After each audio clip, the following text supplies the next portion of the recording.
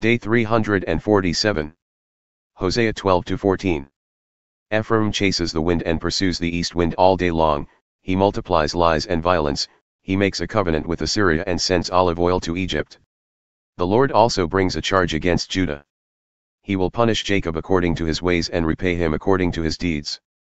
In the womb he grasped his brother's heel, and in his vigor he wrestled with God.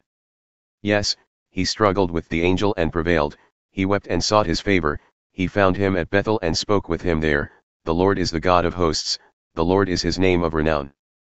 But you must return to your God, maintaining love and justice, and always waiting on your God. A merchant loves to defraud with dishonest scales in his hands. And Ephraim boasts, How rich I have become! I have found wealth for myself. In all my labors, they can find in me no iniquity that is sinful.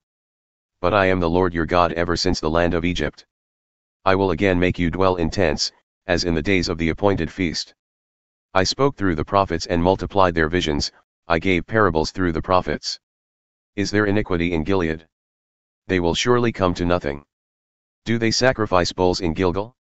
Indeed, their altars will be heaps of stones in the furrows of the field. Jacob fled to the land of Aram and Israel worked for a wife, for a wife he tended sheep. But by a prophet the Lord brought Israel out of Egypt, and by a prophet he was preserved. Ephraim has provoked bitter anger, so his Lord will leave his blood guilt upon him and repay him for his contempt.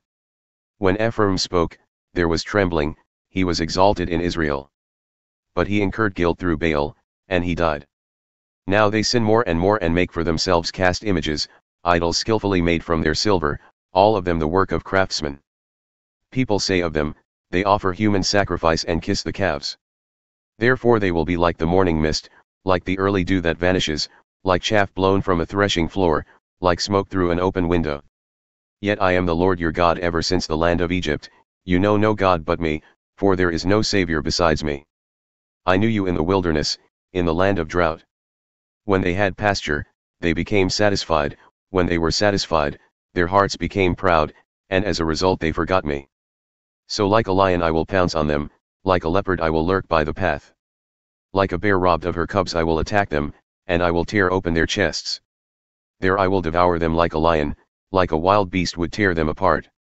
You are destroyed, O Israel, because you are against me, against your helper. Where is your king now to save you in all your cities, and the rulers to whom you said, Give me a king and princes? So in my anger I gave you a king, and in my wrath I took him away. The iniquity of Ephraim is bound up, his sin is stored up. Labor pains come upon him, but he is an unwise son. When the time arrives, he fails to present himself at the opening of the womb. I will ransom them from the power of Sheol, I will redeem them from death. Where, O death, are your plagues? Where, O Sheol, is your sting? Compassion is hidden from my eyes. Although he flourishes among his brothers, an east wind will come, a wind from the Lord rising up from the desert. His fountain will fail, and his spring will run dry. The wind will plunder his treasury of every precious article. Samaria will bear her guilt because she has rebelled against her God. They will fall by the sword, their little ones will be dashed to pieces, and their pregnant women ripped open.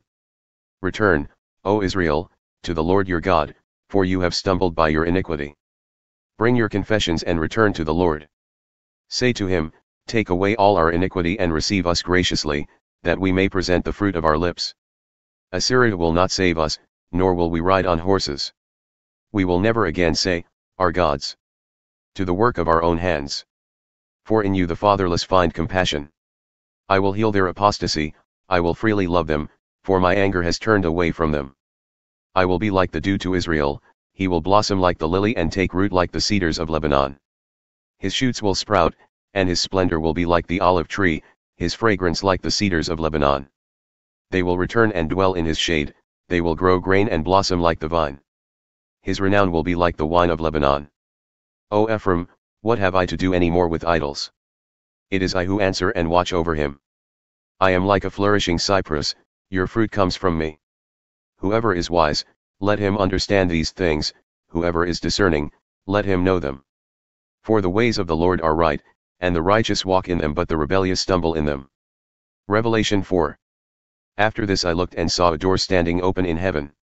And the voice I had previously heard speak to me like a trumpet was saying, Come up here, and I will show you what must happen after these things. At once I was in the Spirit, and I saw a throne standing in heaven, with someone seated on it. The one seated there looked like jasper and carnelian, and a rainbow that gleamed like an emerald encircled the throne. Surrounding the throne were twenty-four other thrones, and on these thrones sat twenty-four elders dressed in white, with golden crowns on their heads. From the throne came flashes of lightning, and rumblings, and peals of thunder. Before the throne burned seven torches of fire. These are the seven spirits of God.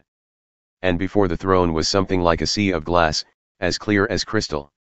In the center, around the throne, were four living creatures, covered with eyes in front and back. The first living creature was like a lion, the second like a calf, the third had a face like a man, and the fourth was like an eagle in flight. And each of the four living creatures had six wings and was covered with eyes all around and within. Day and night they never stop saying, Holy, Holy, Holy, is the Lord God Almighty, who was and is and is to come. And whenever the living creatures give glory, honor, and thanks to the one seated on the throne who lives forever and ever, the twenty-four elders fall down before the one seated on the throne, and they worship him who lives forever and ever. They cast their crowns before the throne, saying, Worthy are you, our Lord and God, to receive glory and honor and power, for you created all things, by your will they exist and came to be.